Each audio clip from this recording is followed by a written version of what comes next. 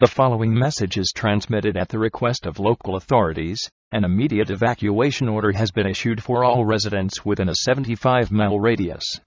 The National Guard has been dispatched to provide assistance. Make sure to bring an emergency supply of water, food, first aid kit, clothing, flashlights, and batteries. Follow evacuation routes, which have been marked by authorities. Transportation will be provided at police stations and community centers. Stay tuned for further details and information on this situation.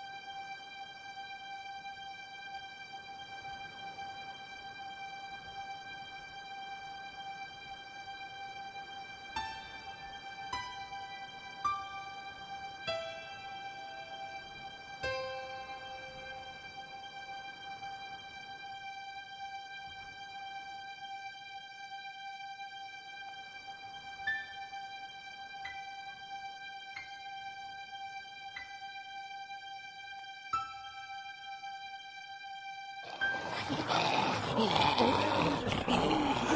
God.